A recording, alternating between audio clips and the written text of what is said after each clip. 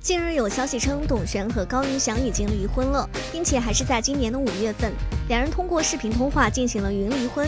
虽然双方工作人员均未做出回应，但还是有不少网友恭喜董璇摆脱渣男，开启新生活。要知道，董璇当初因为选择原谅，并且倾尽全力救夫，被网友调侃为“原谅教教主”。他这次如果真的选择离婚，那可就算是亲手打破了自己立下的好妻子人设。随后，知情人爆料称，董璇不惜自己打脸也要离婚，是为了保护个人财产。去年，高云翔、董璇夫妻名下超过六千三百万财产被法院扣押或冻结，申请人为八千传的出品方。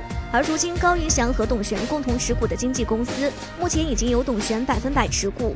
不过，在爆料中有两处细节值得深究。首先，根据我国法律，夫妻双方要进行协议离婚时，必须两人到场。通过简单的视频通话是无法进行离婚程序的。而且，高云翔和董璇的财产在今年年初就已经被法院裁定冻结。为什么董璇要等到五月份的时候才选择离婚呢？